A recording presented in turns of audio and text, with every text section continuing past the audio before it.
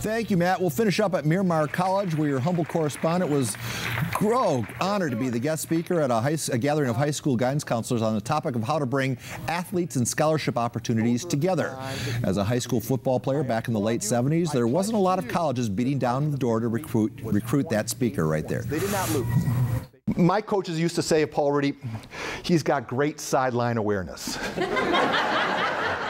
Whenever I got the ball, I had such an aversion to contact that I uh, instead of running for the goal line, I ran for the nearest sideline. I still hold the school record for most consecutive starts without needing my game jersey laundered. I, I, I, I just, I did not like to get tackled. Oh boy. Wow, the best of Paul Rudy. That says a lot.